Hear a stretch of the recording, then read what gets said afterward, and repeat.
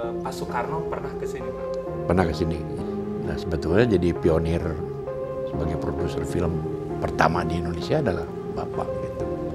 Dan ini dilukis oleh Basuki Abdullah.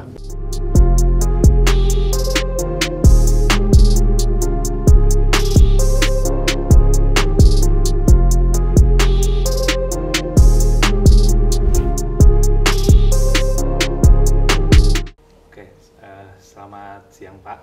Siang. Eh, terima kasih sudah mau diwawancara oleh tim majalah.id. Kita hari ini akan membahas lebih dalam tentang seorang tokoh nasional yang mungkin tidak banyak yang tahu bahwa beliau itu banyak bahkan mungkin eh, tinggal di sini ya di Majalaya gitu. Nah, saya sendiri sebagai orang Majalaya cukup kaget karena tokoh nasional ini adalah tokoh nasional yang sangat penting mungkin ya. Karena dia adalah menteri dalam negeri pertama Indonesia juga seorang seniman Bupati Bandung yang sangat terkenal dan rupanya ada satu situs di Majalaya yang merupakan kediamannya gitu kan. Nah mungkin dan bersama saya sedang ber- eh, adalah putra dari tokoh nasional tersebut tokoh nasional tersebut adalah Raden Arya Adipati Wiranata Kusuma atau Wiranata Kusuma kelima yang biasa disebut juga sebagai dalam haji Ya. dan bersama saya sudah ada Pak Otong Toyibin Wiranata Kusuma sehat Ya. Pak Alhamdulillah. Pak bisa ceritakan kepada kami semua anak muda kenapa seorang bupati sampai ada di Majalaya salah satu situsnya.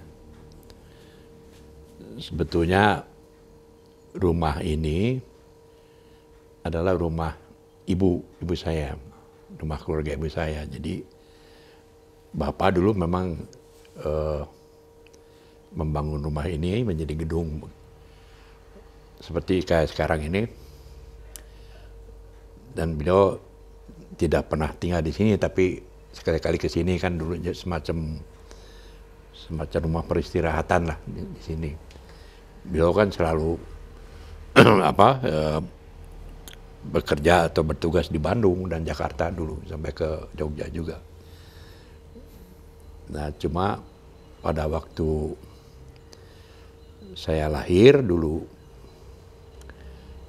di sini saya lahir di sini. Waktu itu ada peristiwa pentingnya Bung Karno nengok ke sini dari Jogja spesial karena pada waktu itu Bapak menjabat Menteri Dalam Negeri pertama di Indonesia. Mungkin teman-teman penasaran, di sini tuh di mana ya? Penasaran kan? di mana Pak? Ini tuh jadi ada satu rumah tua. Saya tahu dari masyarakat disebutnya tuh Bumi Ageng ya Pak. Gedong, Eh Gedong Ageng ya. gedong. Bumi Gedong. Jadi disebut gedong itu, nah ini tuh terletak di desa Ciawi Gede, Wangi Sagara kalau dulu Wangi Sagara. Bang Sagara. Sekarang ini Neglasari, dimekarkan. Dulu itu disebut gedong karena dari dari jalan Ciwalengke sampai ke sini, jalan raya sampai ke sini itu belum ada gedong, rumah gedong. Belum ada rumah gedong ya. Ya, ini Satu-satunya. gedong pertama, jadi makanya disebut gedong itu orang terkenalnya ya ke rumah ini gitu. Atau Eh, Pak Soekarno pernah ke sini Pak. pernah ke sini, ya. Ya nengok saya lahir waktu itu. Ya ingat waktu itu Bung Karno dari dari Garut katanya nelfon ke sini minta disediain daun mareme dan cemal oncom. Jadi Jadi Soekarno tuh waktu ke sini pesennya itu ya. ya kesenangan beliau itu katanya daun mareme dan sama oncom katanya gitu. Itu telepon dari Garut ke sini. Nah, dulu tuh ini memang rumah keluarga.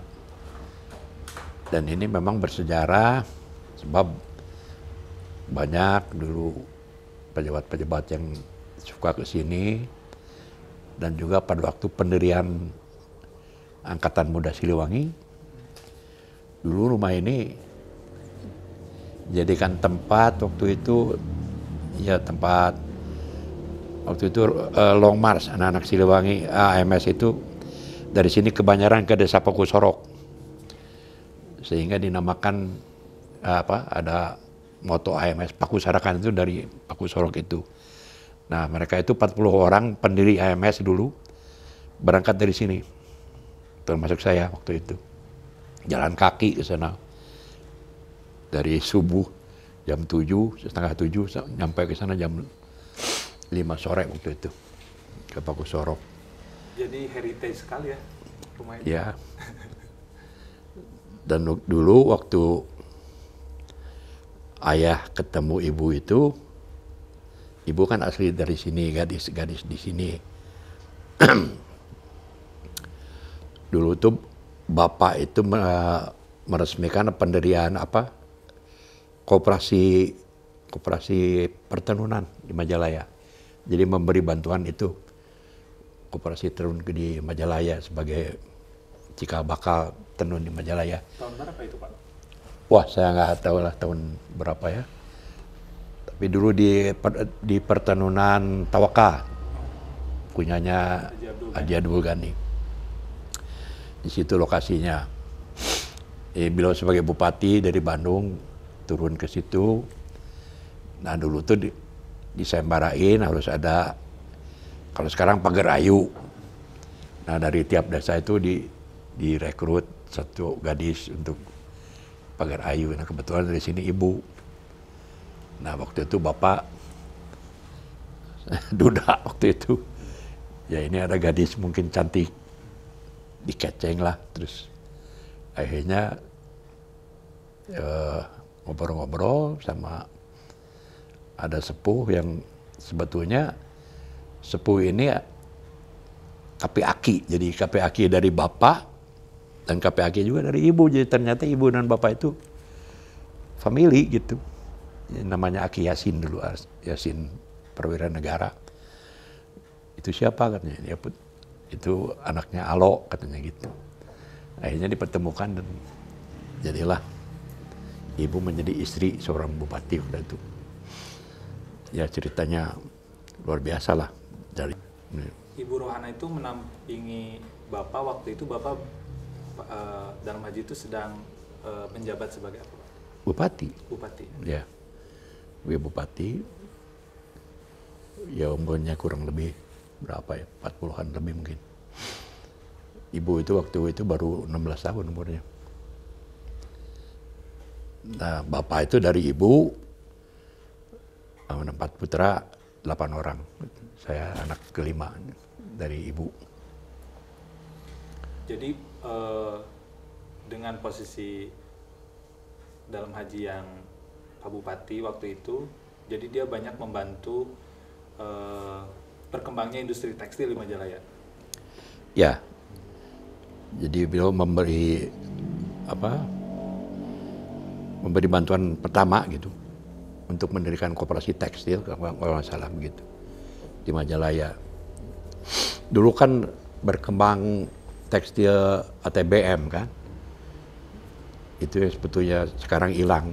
Padahal itu dulu menjadi sumber mata pencaharian semua di kampung di sini dari Majalaya sampai ke kampung-kampung. Dulu home industry dengan mempergunakan ATBM itu sangat bagus. Gak ada pengangguran dulu. Dari anak kecil, anak perempuan sampai nenek-nenek, pemuda-pemuda, eh, orang tua laki-laki. Semua bekerja di, di bidang itu. Jadi kayak anak kecil dan nenek-nenek, itu kan apa mihane kalau nggak salah. Bikin uh, ngegulung ngegulung benang. Kapas jadi benang ya mihane itu kan? Ya. Hmm. dan digulung ke ke konnya gitu kan? Oh, betul. kayak begitu. Uh, kalau di sini pak di rumah ini tinggalan tinggalan tadi saya lihat ada meja ya yang sudah berarti itu udah ratusan tahun ya pak ya udah seratus tahun lebih lah itu dari kakek saya kan Nah yang menarik teman-teman ini ada lukisan. Nah lukisan di atas ini adalah lukisan dalam haji. Dan ini dilukis oleh Basuki Abdullah. Basuki Abdullah. Ya. Jadi Basuki Abdullah itu maestro pelukis di Indonesia. Kalau teman-teman melihat lukisannya Nyi Roro Kidul, nah mungkin familiar dengan itu. Itu pelukisnya Basuki Abdullah dan ini di belakang kita ada lukisan sang maestro itu. Dan ini sepasang, Pak ya. Sepasang. Satu lagi di mana, Pak? Yang Di adik saya di Bogor, di Bogor. yang ibu saya itu. Ada cerita apa Pak di balik lukisan ini? Pak? Iya. Lukisan ibu saya itu kok lama nggak selesai katanya. Iya. Jadi waktu ditengok ke rumahnya Basuki Abdullah itu ternyata itu sorry. Jadi nggak di- nggak di- nggak digambarin bajunya gitu. Oh. Akhirnya dimarahin cepet-cepet dia minta maaf dan di apa dilukis bajunya. Kenapa Pak suka Pak? iya dia apa jatuh cinta sama lukisannya sendiri gitu. Seperti orang kayak lukisan Madonna kayak begitu Iya, kan. betul. Jatuh cinta dengan lukisannya kayak Wah itu bagus jadi topik tuh. Basuki Abdullah jatuh cinta sama orang Majalaya berarti Pak ya? iya. Seorang Basuki Abdullah. Tapi ibu memang asli di sini Pak? Asli, Asli sini. tapi ayahnya itu bukan asli sini sebetulnya. Ayahnya itu orang Bandung juga sama. Keturunan dari ya dari Talaga lah sebetulnya dari Yuda Brata itu dari Talaga. Kita juga kalau teman-teman ke sini mungkin akan banyak foto-foto di sini ya. Ada foto foto lukisan, piagam penghargaan juga saya lihat. Ada buku-buku yang cukup tua juga sepertinya. Iya. Jadi bapak itu kan senang baca. Ya. Dia tuh fasih berbahasa lima bahasa. Inggris, Prancis, Belanda, Jerman, sama Arab. Fasih itu. Makanya beliau banyak melahap buku-buku apa aja yang berbahasa itu dia dia baca gitu. Pak dalam haji ini suka membaca, berarti banyak karya tulisnya dong? Banyak ada ada tentang sejarah Nabi, kebanyakan ada tentang agama lah. Ada terjemahan surat Al-Baqarah diterjemahkan ke dalam bahasa Sunda dan didangding sehingga bisa ditembangkan. Terus ada juga buku mengenai Islam dan demokrasi segala macam. Terus itu perjalanan ke Mekah, fakta-fakta lain terkait dalam haji gitu ya. Tadi dia juga suka baca, punya karya tulis. Eh, bisa disebut produser film pertama? ya betul. Jadi cerita itu? Dalam haji dulu kan dulu dekat sama Buse, Menir Buse. Buse itu yang yang punya bioskop-bioskop di alun-alun. Semualah di Bandung itu punya Buse. Nah, Buse itu kan tanahnya kan punya punya kabupaten kan punya ke Prabon. Alun-alun sekitarnya itu.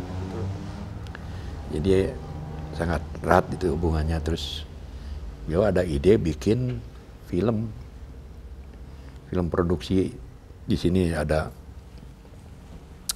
sutradaranya ada orang-orang Belanda ada ahli sineas waktu itu ya bikin Lutung Sarung nah sebetulnya jadi pionir sebagai produser film pertama di Indonesia adalah bapak gitu Saya baca-baca juga sampai syutingnya kan di Padalarang ya.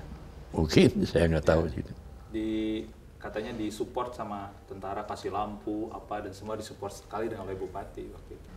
Dan itu selalu dibahas setiap tahun di film nasional terutama sebagai film pertama.